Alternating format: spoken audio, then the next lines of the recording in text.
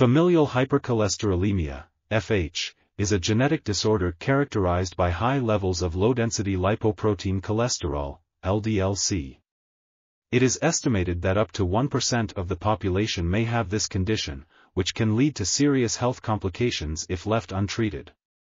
In this study, researchers examined the prevalence of FH among children in Romania who had been admitted to a hospital with elevated LDL-C levels.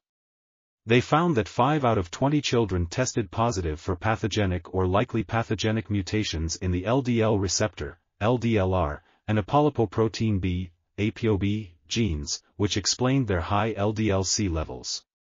These findings highlight the importance of early detection and treatment of FH in order to prevent potentially fatal cardiovascular diseases.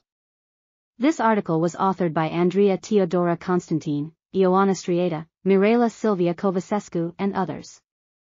We are RTCL.TV, links in the description below.